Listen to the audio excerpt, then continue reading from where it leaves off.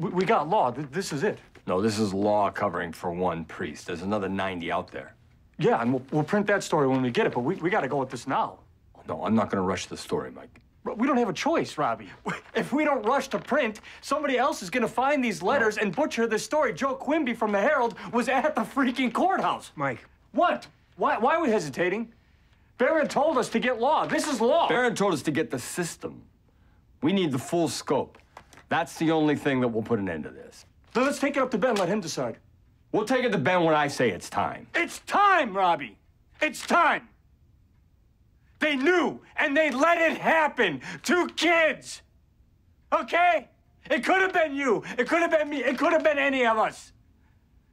We gotta nail these scumbags. We gotta show people that nobody can get away with this. Not a priest or a cardinal or a freaking pope.